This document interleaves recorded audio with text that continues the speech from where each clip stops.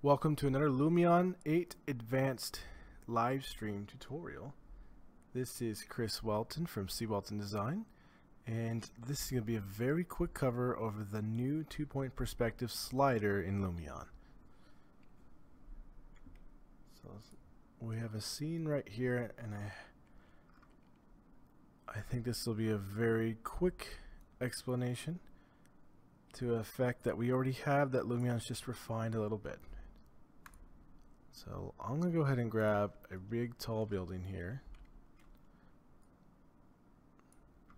And let's go get a camera path, a camera shot taken from downhill. There already was a building here, but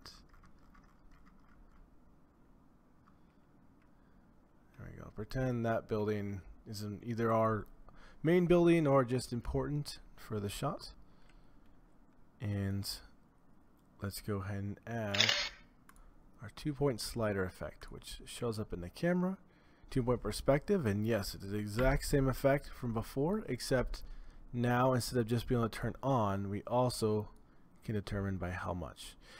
You know this is something of course you got to be careful with because you can easily distort things and definitely don't try to do an animation at oblique angles with this on or you're gonna get some weird it gets pretty weird but with this amount slider we can adjust it's not just binary on off because there's a lot of variations in between. You see a lot of different angles in here.